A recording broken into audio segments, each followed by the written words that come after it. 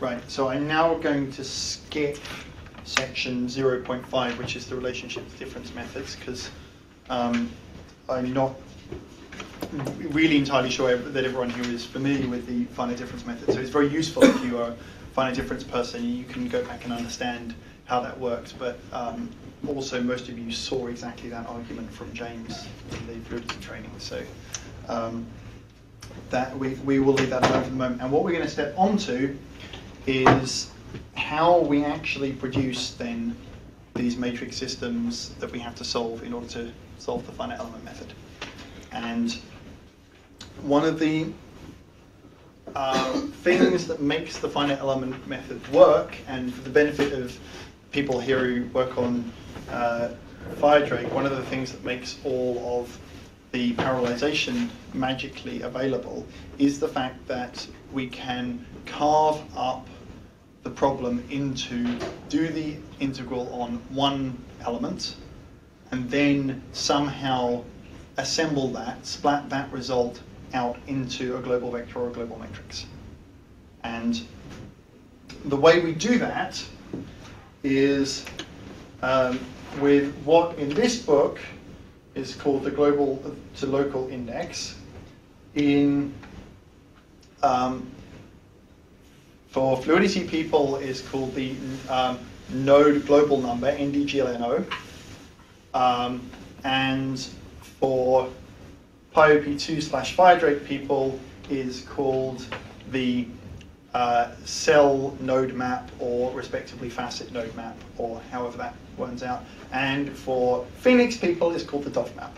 So I think that covers all of the terminology that anyone around here might use for this. And so what that is saying is if I've got my space out there, and I know that I'm on element E, then I can write a function I of E and J. And what this is, is given that I know I'm on this element, and I've got a local node number, and so my local node numbers will, for the piecewise linear case, vary in the range 0 and 1. So there are two um, uh, basis functions which are non-zero on each element, so there are two possible values that can take. I can work out a function, and by a function we basically mean a lookup table, which gives me the global numbers. So in this case, so if these are node 0, 1, 2, 3, 4, 5, and if I'm in this element, then this is saying that I E0 equals 1 and I E1 equals 2, for example, because those are the global numbers which correspond to the local numbers where I am. And that simple trick is how um, essentially everybody implements finite element on unstructured meshes. So, um, and we will, for all purposes, assume that our meshes are unstructured. I realize that that's a particularly structured mesh. It's kind of hard to do unstructured meshes in purely 1D. Um, so, um, yeah, so I think that's all that we need to do there. And so what that means uh, is that, um, yeah, so they've actually given the formula for what I could be on a one-dimensional mesh, which is a form of direct addressing, but we're going to ignore that. And so now what we can do is for functions which are in our space, so we can write interpolant functions, which are the ones in our space, and this is equal to the sum over all elements of the sum from j equals 0 to 1. So remember earlier, we wrote the interpolant as the sum over all i's, so all global uh, indices, of a function evaluated at a particular um, point times a basis function. And we're still going to do that, but now, instead of summing over all i's, I'm just going to sum over the two available j's, and I'm going to look up what the relevant i is. And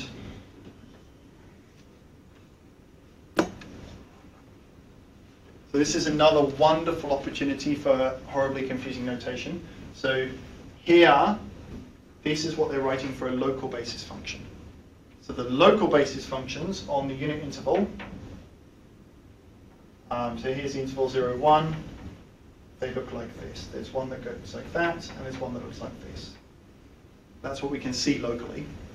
And in order to make this expression make sense, what we actually do is we define that the local basis functions not on this interval are zero everywhere. That makes this expression make sense, but actually you, uh, the, you, you never actually care because the point of this exercise is you only ever look at two of them. You only ever look at the ones that are non-zero where you are. And so the notational confusion turns up because people have different notations. So this book um, says this is phi local to this element, so they call it phi superscript e. In um, FEniCS land, they tend to uh, go to uppercase. So if they were writing lowercase phi for the global basis function, they would write uppercase phi for the local basis function. And I can't even remember what notation is used in the fluidity documentation for this, um, which is embarrassing because I wrote quite a lot of the relevant documentation, but it's been a while. So what does this do? Well, if we want to be computer scientists for a couple of seconds, what it means is that evaluating the interpolant at a given point now turned into an order one operation because we, we always look at exactly two basis functions in order to interpolate. Whereas mathematically, it was an order n operation, right? It was a sum over all available basis functions. And this works because we know that the basis functions are zero uh, almost everywhere. So the basis functions have compact support, which is um, a concept that we will meet next week when we try to do a more formal definition of taking derivatives. And what that then means is that we can use the linearity of that sum and the linearity of integration in order to integrate anything we like. So um, if I wished to integrate fi over the entire domain, uh, what I would do is I would sum over all the elements and I would take the integral over an individual element of um, the uh, sum j equals 0 to 1. Oh, look, linear sum. Take that outside as well.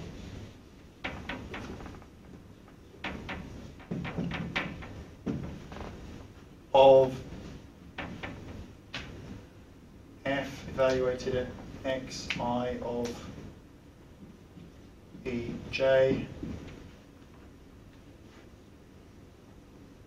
times um, the um, phi j e d. Now I have to be a little bit careful here. This is now needs to be so. This needs to be an integral dx over the local element. So I'm going to have to change coordinates on that integral uh, interval in just a second. Right. So I've just dy or dj, sorry, dj. No, j is an integer. Can't possibly be an integral on that. So no, what's going on is I have um, this is a global integral. I've cut the global integral up into little bits, but I haven't yet. So these things are expressed in local coordinates that go from zero to one. Um, and this thing is still a global coordinate which is going from xi to xi plus 1 at this particular point. So um, that, that we don't know how to do yet. Uh, but the other thing I can do at this point is I can notice that that thing is a number. It's a number evaluated at a particular point, and that particular point doesn't vary over the integral. So actually,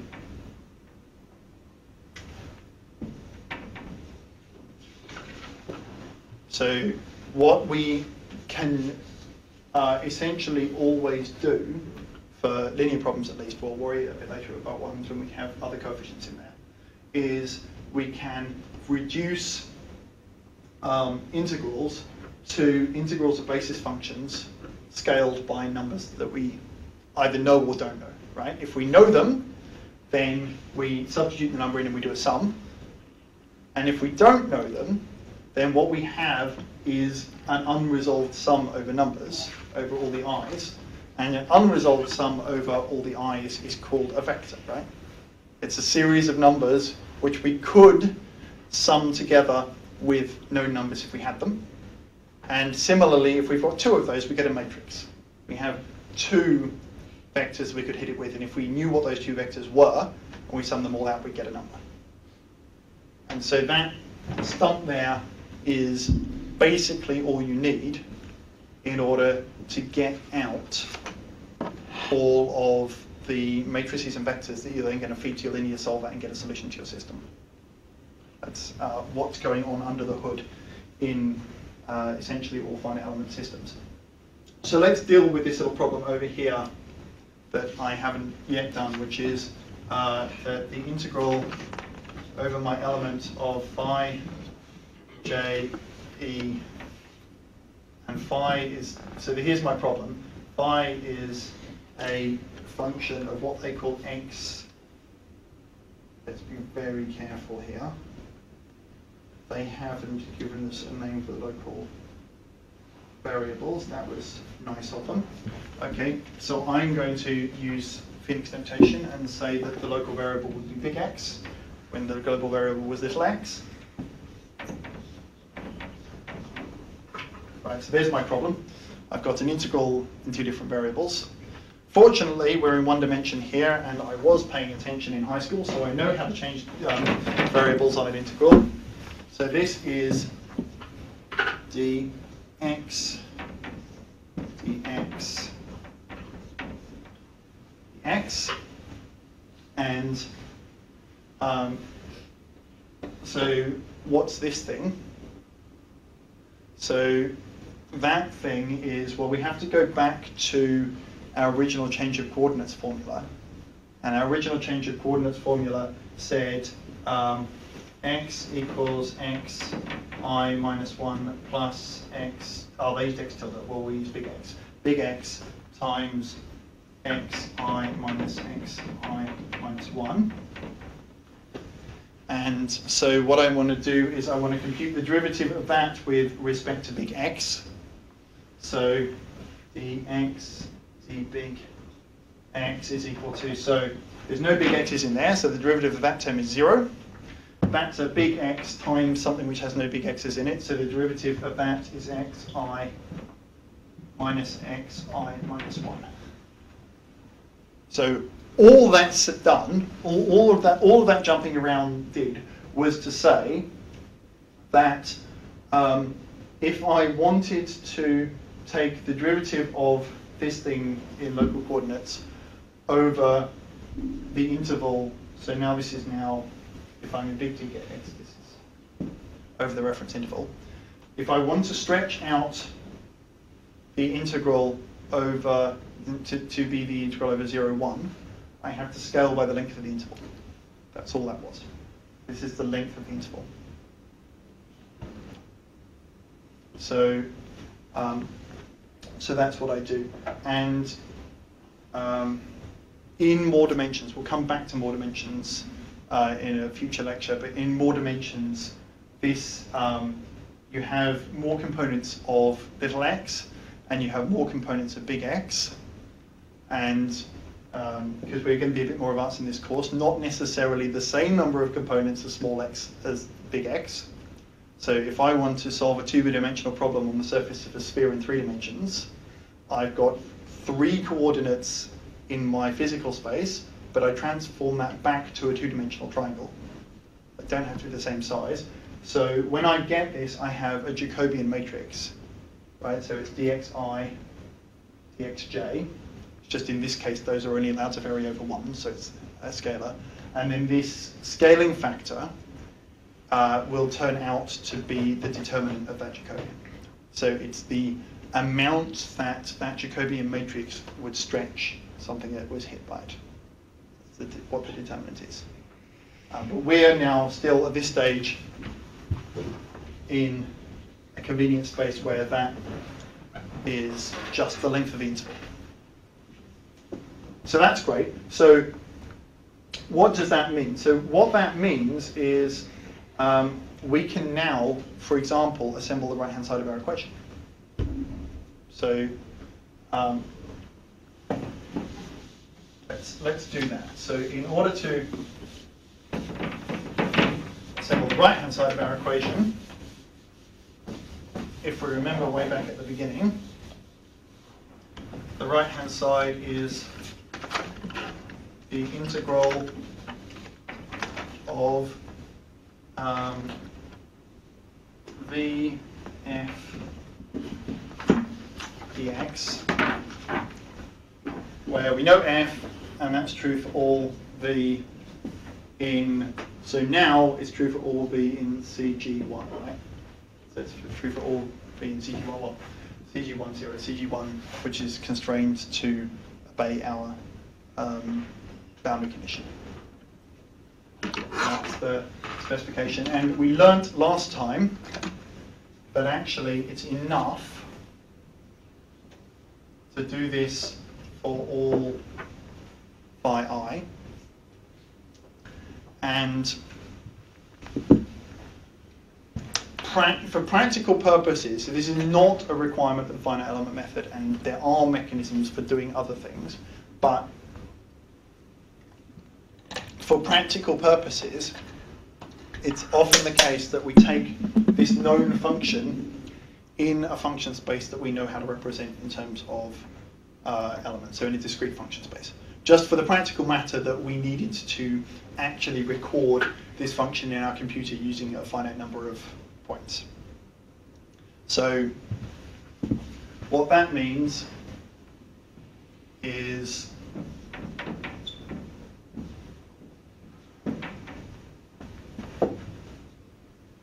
okay so so that's still only a vector because there's still only one free index in there because we're summing over j so the j's go away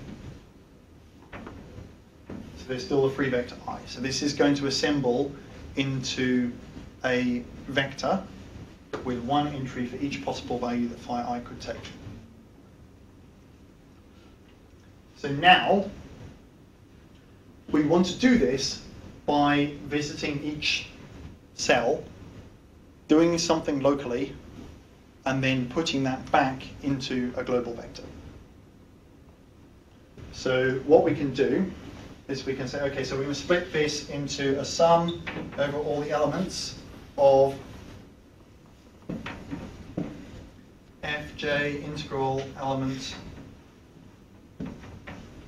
phi i phi j dx. And um, people who are paying close attention will notice that actually um, way back at the beginning when I did the sums, doing a sum of the pointwise values doesn't actually make sense because you do something wrong at the, at the edges. But we're now summing integrals, so that's fine. We don't care about the edge points. This is the recurring theme of this lecture is the edge points really don't count. So now what do I need to do? I um, want to, and this is true for for all i. But actually, while I'm visiting a particular element, I might as well turn this problem around. So remember that, so now let's, because I've used i here, and using i and j here is kind of conventional, um, let's call our external function k of e j, right? So this is the thing that gives us a global index. And So what I want to do is when I visit one particular element, I want to do that once and do everything that occurs for that element at that point. So what that means is when I visit element E, I want to take phi uh, i for all i, so local phi i, for all i in the set 1, uh, 0, 1. So I will deal with both of the phi i's which are non-zero on this element in one visit to the element because that's efficient. And I will, what I need to do with those is convolve them with all phi j's, integrate them, sorry, not convolve them, integrate times all phi j's. But remember, there's only two phi j's, which occur in here as well. So this means I have phi j on this element, and that's a sum, j equals 0 to 1. And now I need to hit j with the right f's, because f's are known values, right? We need to insert the f's at this point. So j equals 0, 1. So here, what I know is the global values of j, the global vector of list. So now I need to use my lookup table function to get those back. So this is f, k, e, j. Right, so that's the, the right global value that I picked up times the integral of these local values. And I want to do the interval in local variables, so I have to work out this.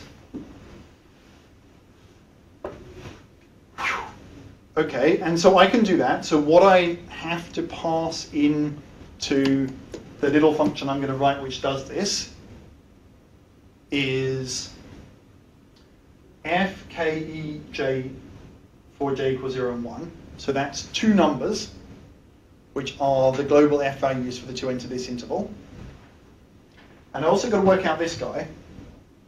So dx dx equals x at the right-hand side. So x at the right-hand side is xke1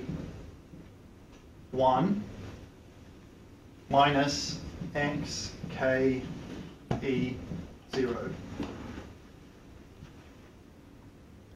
So I need to pass in those two numbers as well. So I look up, so I use my lookup tables to work out um, the two values of f and the two values of x, and those are the two things I pass into a little routine.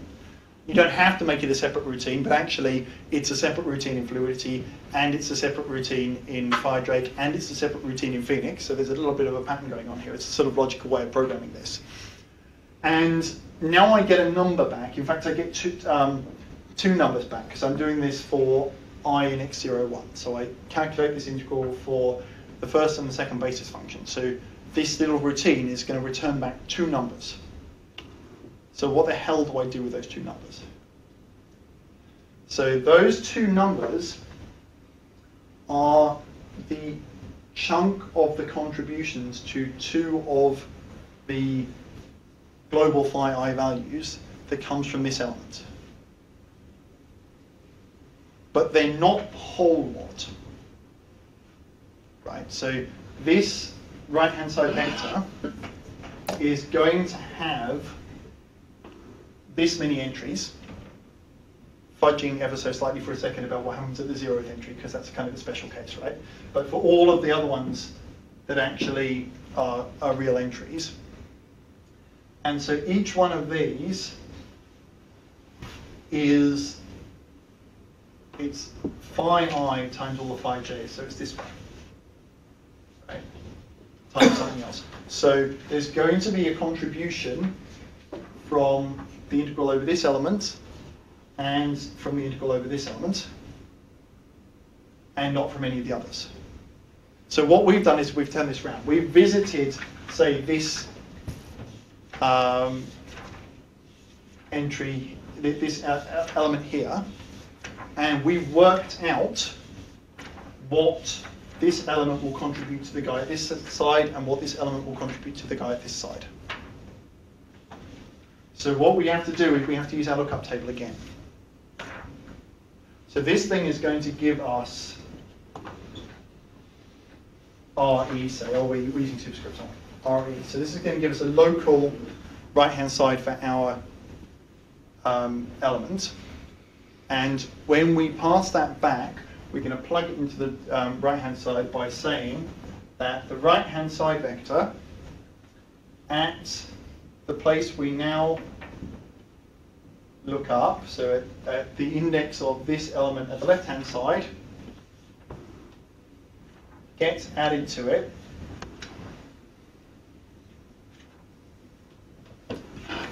First entry that we calculated, the left-hand entry from this sum, and similarly RKE1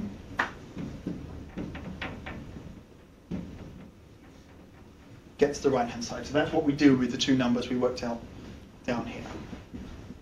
And so what that means is that just using this lookup function that we defined, we can turn everything into a local problem. So we first of all use the lookup function to work out which global numbers to pack down and feed into the uh, local routine. And when we get the result back from the local routine, we use the lookup function to unpack it back out into the vector values.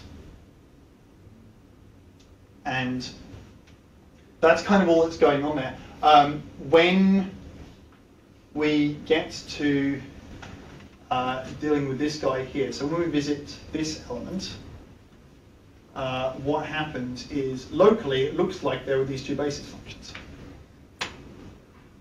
And for f there really are, because f is not subject to the um, boundary conditions, right? You can force our system with any function you like. It's the solution that has to comply with the boundary conditions. So f will take a possibly non-zero value there, so that's fine. We look up that, we feed that in, we get this. Um, x takes an actually zero value there, but it need not because we might have our interval somewhere else. So x also has a sensible value here, so we can look that up down here. What then happens is we get out this 2 vector, and that includes the contribution for this basis function that we know doesn't exist. And so the way you deal with this is at that point when you've got out, you just chuck out that value. Um, if you want to really technically know what goes on, in Firedrake, when we were assembling a vector, we actually put that value into the vector because it's a convenient thing to do. And what happens is after we've um, done the assembly, we go back and we reset all the boundary values in the vector. That's just an implementation detail. Um, the uh, you don't have to do that way. You can check it out to start with. In Firedrake, when we use uh, when we assemble a matrix, we actually chuck it out at that point. In fact, we do something even more sneaky. What we do is we fiddle with this function, and we cause this function to return a negative number every time we hit a boundary um, node and we use PETSc to assemble our matrices. And PETSc has a really convenient behavior, which is if you feed PETSc a negative row or column number, it just throws out the value you gave it. So we let PETSc deal with that boundary condition for us, which is kind of um, convenient. Okay, so that was the left-hand side.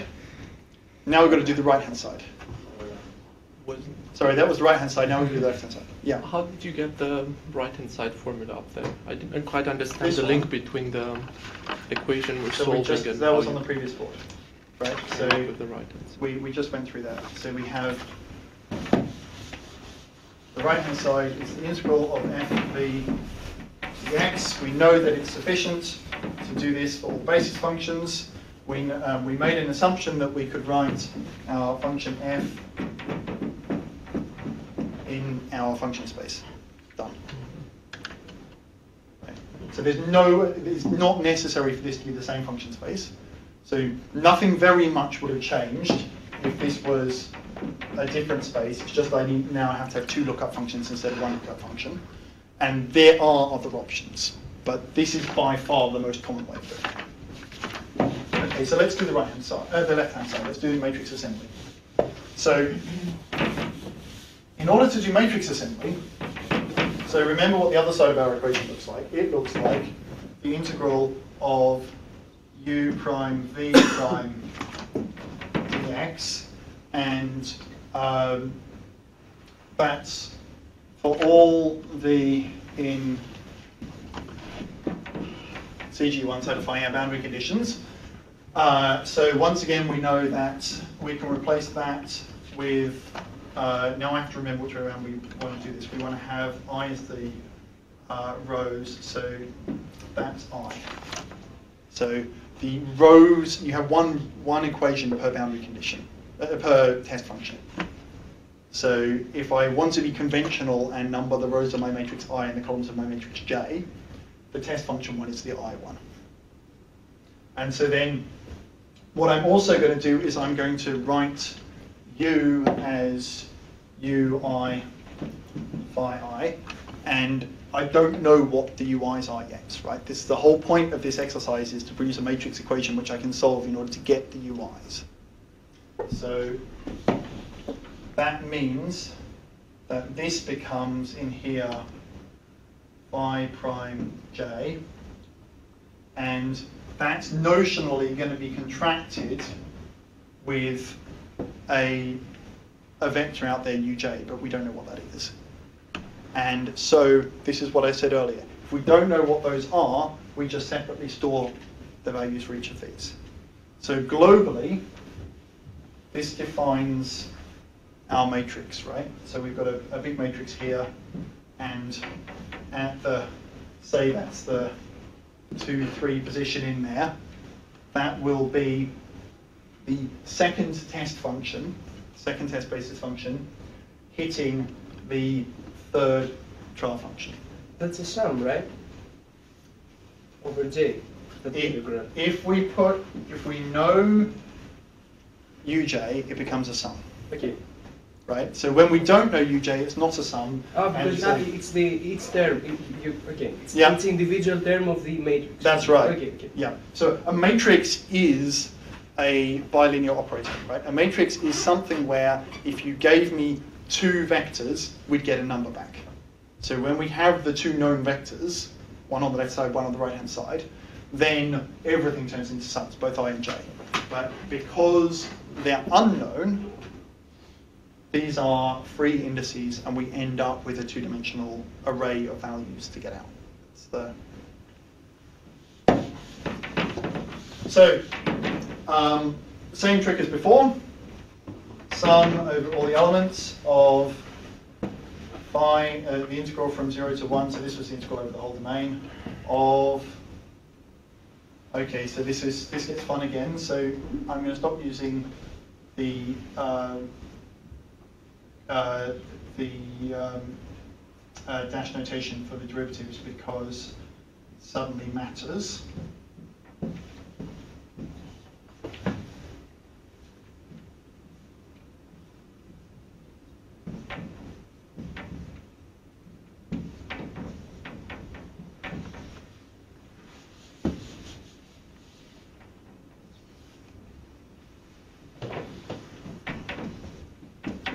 This is what we did before. Um, the only, so the difference is now are, um, so these things are local. And so this is now, because these are unknown, there are no sums in here. This is for all i in 0, 1, for all j in 0, 1. So this is now not the sum, but it's the local tensor assembly. So this is k e is equal to this guy. So that means because this is 0, 1, this isn't 0, 1, this is a little 2 by 2, right? Because I've got two test functions which are non-zero on this element and two trial functions. So the two test functions give me two rows, the two trial functions give me two columns. That's the, the little matrix uh, that I get here. And so that's exactly the same change of variables I did earlier. And now I'm going to have to do something like that again because these were global gradients. So they are gradients with respect to the global vector. And these things are local basis functions, which I know with respect to this thing, which goes from 0 to 1. So I once again think back to the dim and dark days of high school calculus, and I say that this is equal to um, d x, d big X, d little x, d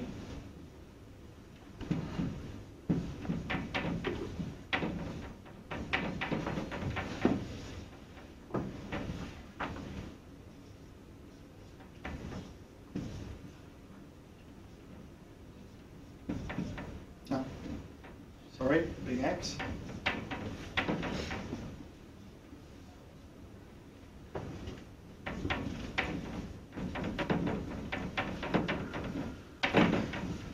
Okay. Um,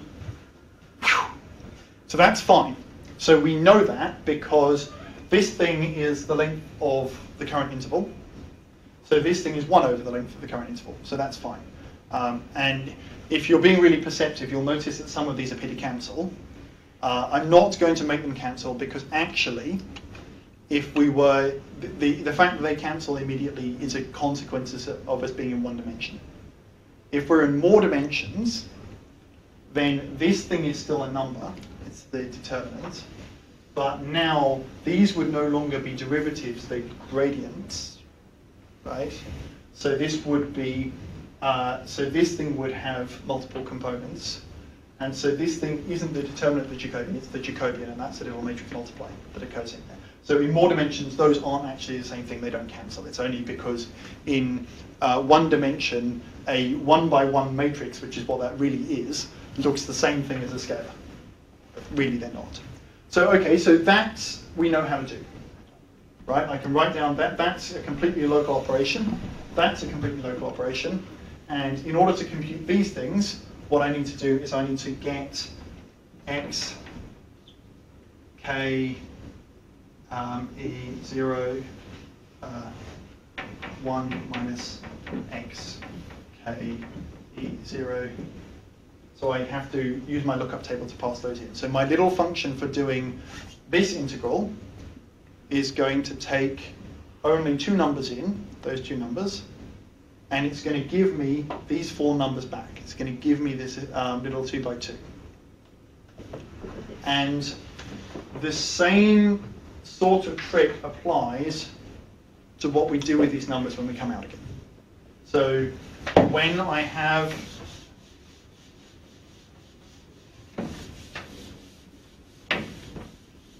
Now my matrix then um, when I visit this element, then I'm going to get back contributions to the 1, 2 rows and 1, 2 columns. So that's going to need to be plugged in kind of here. And when I visit this one, I'm going to get back contributions to the 2, 3 rows and the 2, 3 columns. So its contributions are going to overlap like that, and so on. And if you had a, if we're in more dimensions, so this was a properly unstructured mesh, then the global numbers of the um, points on each element wouldn't necessarily be adjacent to each other anymore. And so what happens is you would splat out to some sort of square structure. It's always a split square, right? Because the, the row and the column indices are the same and they, they would splat out there. So what that means maths-wise is that if I have a, my global matrix K, then it's K, little k, lookup table of elements I, K, lookup table of element J, that gets. Oh, sorry. Um,